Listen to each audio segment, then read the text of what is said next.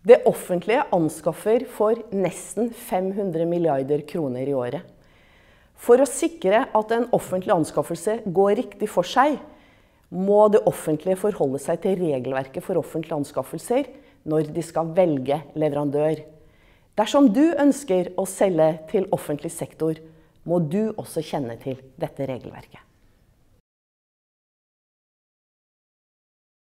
Når det offentlige drifter tjenesten selv, f.eks. drifting av kommunale sykehjem eller drifting av kommunale barnehager, så gjelder ikke regelverket for offentlige anskaffelser. Men dersom anskaffelsen omfatter eksterne bedrifter, så gjelder regelverket for offentlige anskaffelser, og det må utføres en konkurranse. Ja, innkjøper kan velge å legge større vekt på f.eks.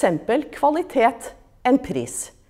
Tildelingskriteriene skal offentliggjøres i konkurransegrunnlaget eller i kunngjøringen. Dersom det er begått en feil i prosessen, eller du føler at du er forbigått, så kan du klage. Du kan klage til KOFA, Klagenemnden for offentlige anskaffelser, som behandler ca. 200 klager i året fra små og store bedrifter. NHOs medlemsbedrifter kan få råd og hjelp fra NHOs eksperter. Du kan kontakte NHOs team for offentlige anskaffelser.